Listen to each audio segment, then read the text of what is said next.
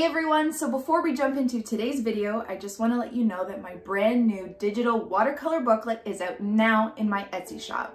In this digital workbook, I go through step-by-step -step instruction on how to draw each flower and how to paint them using watercolor to look more detailed and realistic. I also include a tracing template for each flower, as well as a supply guide, tips on watercolor blending techniques, and color theory. I'm really proud of this workbook and I really hope you guys enjoy it. So if you're interested in picking up your own digital copy, head to the description below and click on the link to my Etsy shop.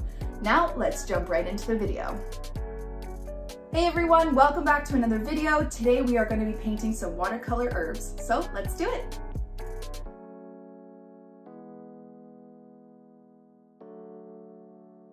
Okay, so to start, I'm just gonna go through my materials. I have my Arches watercolor paper.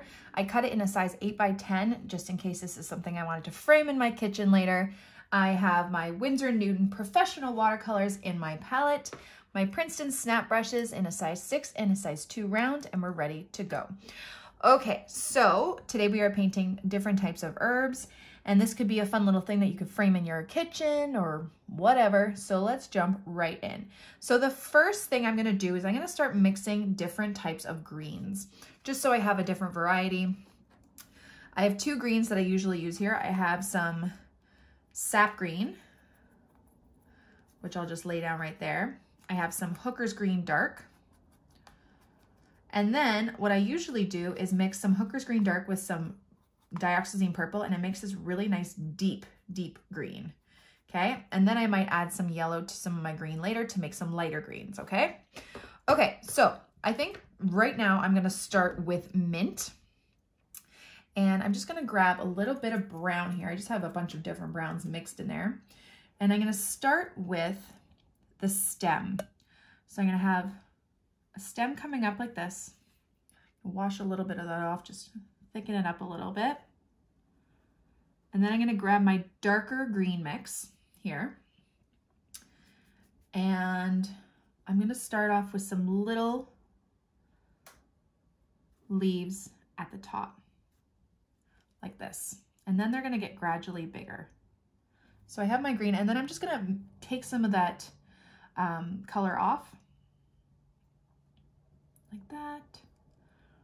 I'm gonna have bigger leaf there. And the mint has jagged edges, so if you wanna just take your the tip of your brush and just do some little jagged edges, you can do that.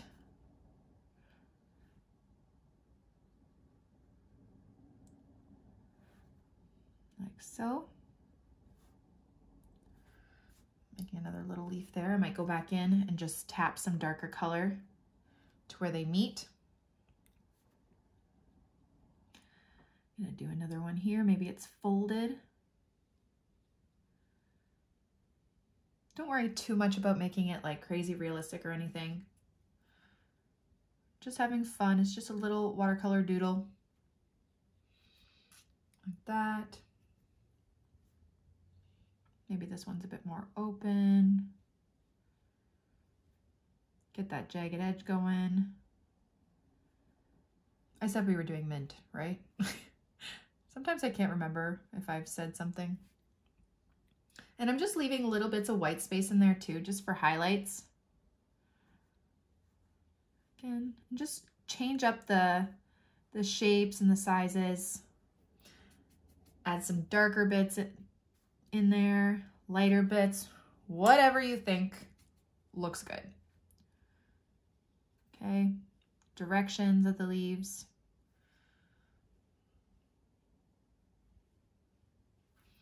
Maybe there's three coming off this section here.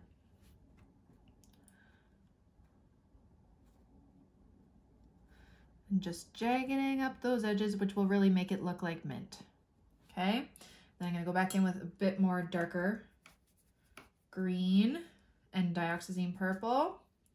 And just again, tapping some of those parts just to add a bit more shadow and then I'm gonna take a bit more of my brown and I'm just gonna go up that stem again. And some of that brown can bleed into the leaves, like that. And there you go, there's your mint. Super easy and cute. Okay, Now we are going to do some uh, thyme. I'm, I'm just guessing as I'm going. And now these are smaller leaves. So I'm going to use my size 2 brush for this. I'm to start with my brown. And I'm going to do maybe like two sprigs of thyme here. So I'm just going to start with really thin stem. Maybe they can overlap at the bottom like that. Then I'm going to take my sap green here, just change up the greens a bit. And then I'm just going to do these little leaves. Okay, they have tiny little leaves and don't think too much about the placement of them. They're kind of all over the place. They're shorter, they're not too long, and they, they're a bit longer at the top than they are at the bottom. Okay, I'm just taking off some of the pigment on my brush and just adding water. And then I'm gonna add some. Again, just changing up that, um, the contrast. So some are lighter, some are darker, and then they get more sparse as they get closer to the base of the stem. Okay, so longer at the top.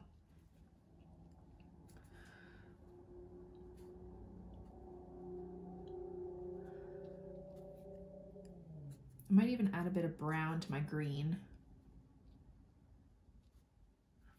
taking off some of that pigment, making it lighter.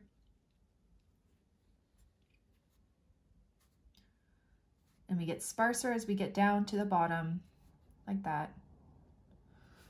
And then I'm gonna go back in with my brown and again do the same kind of thing where I just go over the stem and it can bleed a little bit into those, those thyme leaves.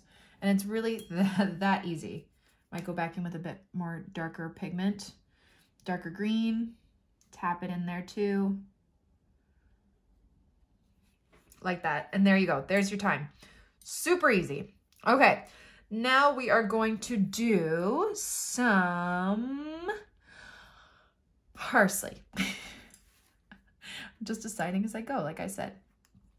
Let's do some parsley. Okay, so I'm gonna grab my green here. More sap green, I think. And these leaves or these stems are green. So I'm gonna start off with one stem coming up here. We're gonna go this way this time, like that with the tip of my brush, very light pressure. And then it's gonna branch off here. And then maybe a couple little branches coming off that way, okay? And parsley is very like jagged, these edges. So you're just gonna use the tip of your brush and kind of make these jagged looking leaves. Okay.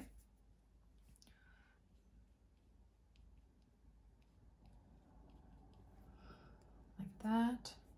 And again, we want to change up the contrast. Here, make this one longer. Change up the contrast of the, the leaves. So go back in with some darker green, you know, hit some of those areas, maybe closer to the stem. Let's do some lighter ones over here. Really not thinking too much about that shape, just have fun with it. Just laying it down. We're making these kind of loose herbs, herbs. Such a weird word. Herbs, herbs, herbs, right? Herbs. Sometimes I, I wonder why you guys watch me. Because I am just ridiculous. Okay grabbing some darker green, putting it in there. Like so. feel like I might add another sprig of thyme here just because it looks a little uneven. Grab a bit more of that bright green, dab that in there too. Maybe do a little leaf down here. Like it's about to grow. I feel like that stem is a bit too there we go. It was a bit too thick for my liking. All right, and there you go. There's your parsley. We're just gonna go back here and do one more sprig of thyme.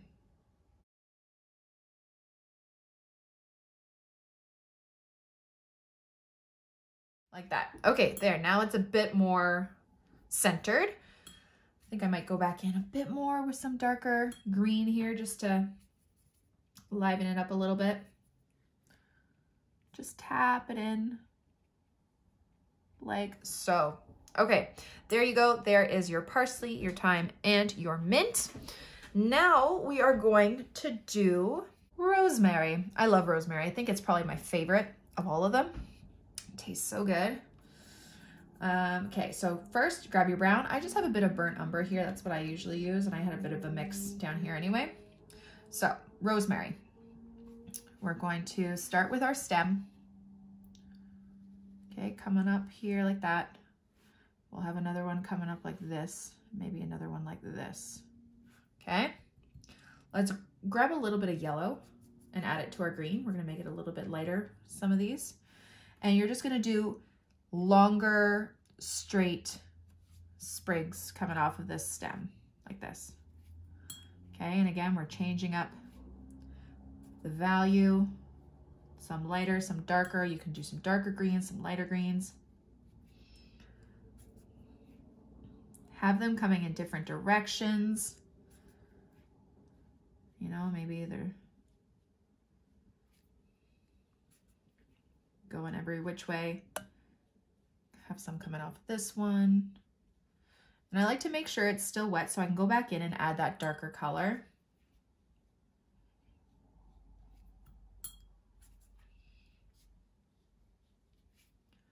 Add a bit more yellow.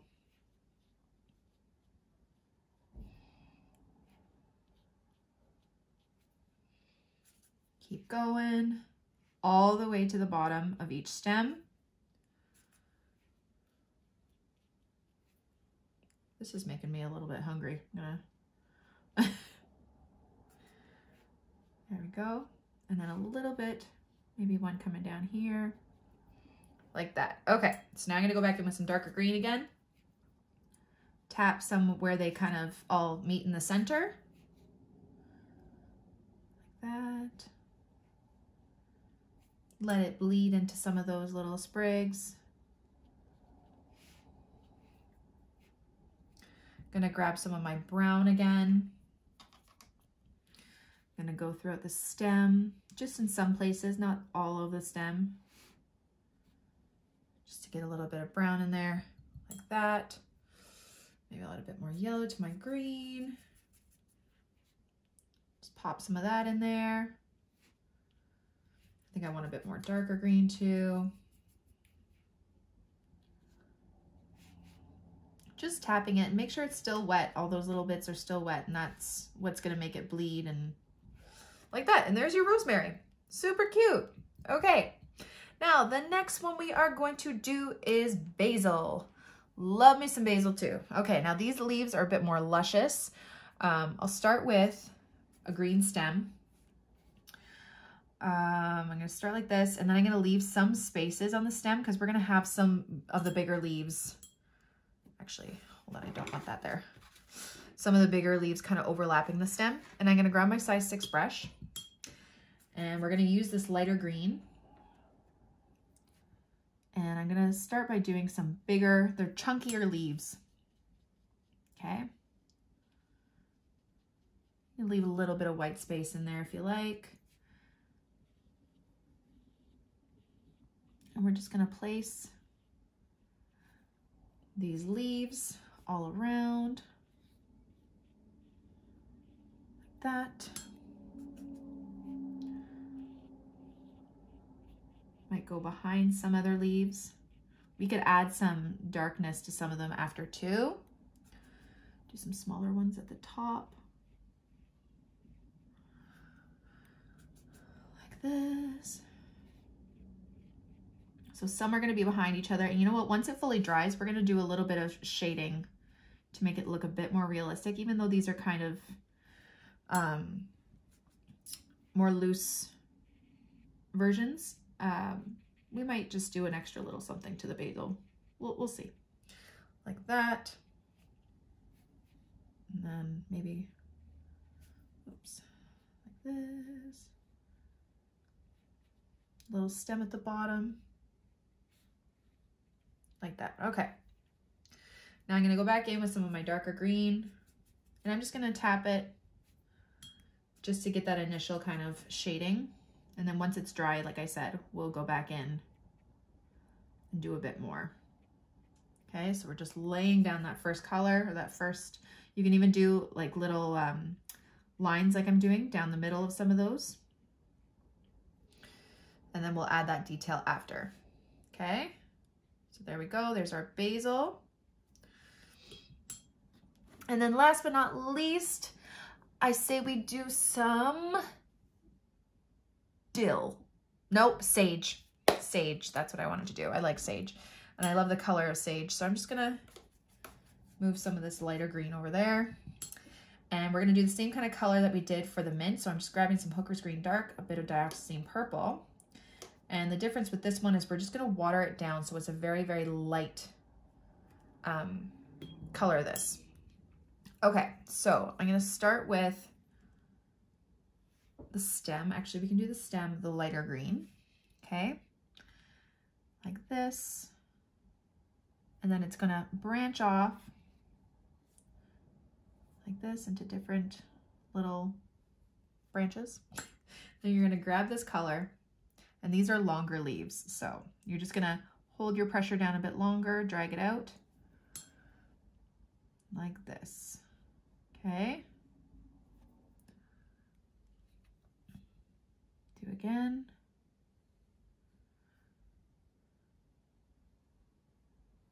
They're longer and they're not as pointed at the top. They're a little bit rounded at the top. Okay, so not too pointy.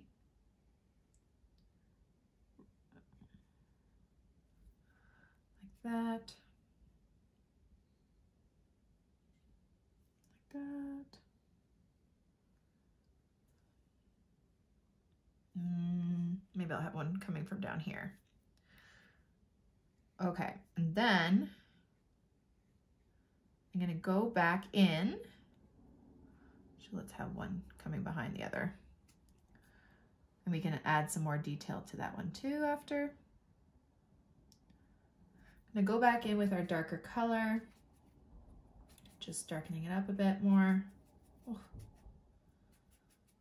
Okay wash it off a bit, and then just tap the bottoms of the each leaf with that color. You can even go around some of the sides if you want, and just let it bleed. Make sure it's still wet.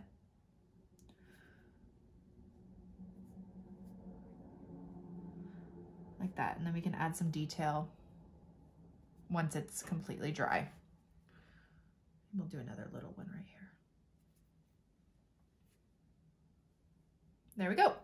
Okay, so let's wait for this to completely dry and then we will go back into these, these two and just do a little bit more detail. Okay, so now that it's dry, we can go back in and do a bit of detail. Um, I think I might do a little bit of detail to the mint too. Just gonna grab my size two brush and a dark wash just do some little veins in some of these leaves.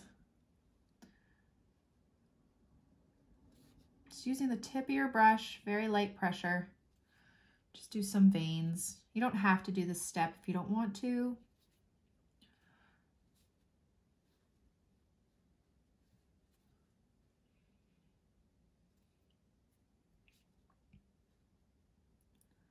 Like so. And it just adds a little bit of extra detail to that mint, a little bit more texture. Now for the basil. What I'm gonna do is some of these leaves are behind others. So I'm gonna pick the ones that are behind. I'm gonna grab my lighter green and see like this one's behind, this one is behind that one. So I'm gonna go along where it's behind it with this darker color, wash off my brush, dry it, and then I'm gonna blend it out. Like that, okay? So this leaf is a little bit darker. Okay? Now, same with this one.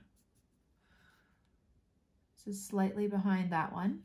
Wash off my brush, dry it, just blend it out like that. So it's a bit darker.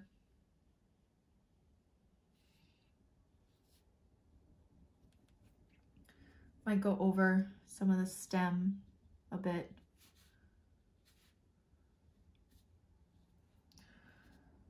that. Now this one is behind. Wash off, blend it out. Okay, don't worry, it doesn't have to be too like detailed. Just doing a little bit of extra just to make some of these leaves pop a bit more.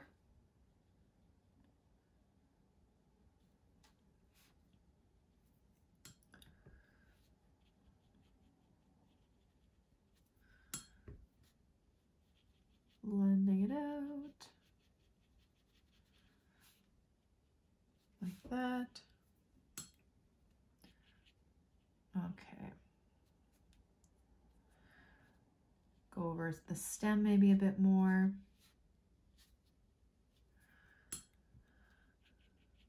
Just gonna darken up this one a bit.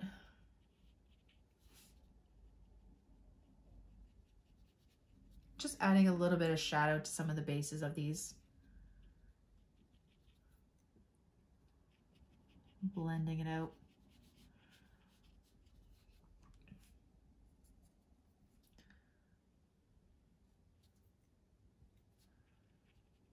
Like that.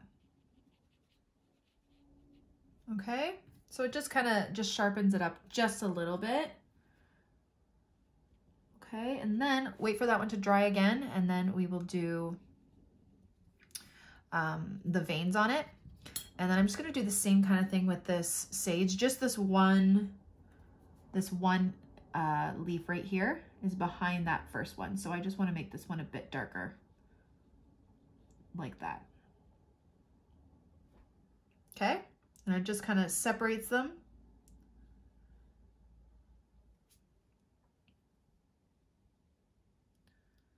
Oops. Like that. Okay, and then again, wait for it to completely dry. Okay, now that it's dry, I'm just gonna grab my small brush again and we're gonna go back in and add some of those um, veins to the basil. So I'm gonna go right from the tip of the basil and it's gonna go right to the edges like that, okay? On each leaf.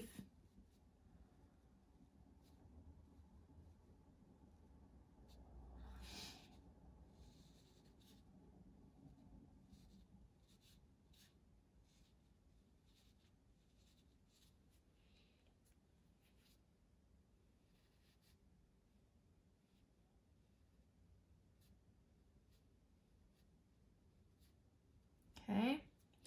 And you can see this just really details it up a bit, makes it look a lot more like basil.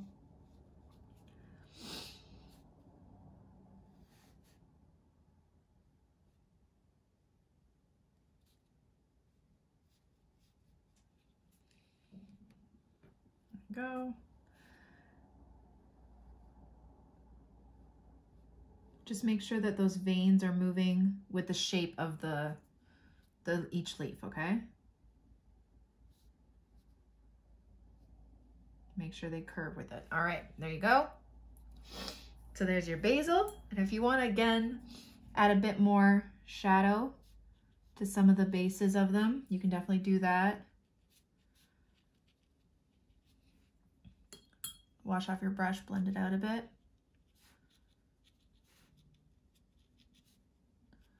There you go. There's your basil. And then for the sage, what I think I might do is take a light wash of the sage color and just go up one side of the sage like this. Just up one side. Like that. I don't know why, just, just do it. there are your different herbs. Thank you all so much for watching my video. I really hope you guys liked it and I hope you learned something. Don't forget to subscribe to this channel and follow me on Instagram and Facebook for even more. Have a great day, guys. Bye.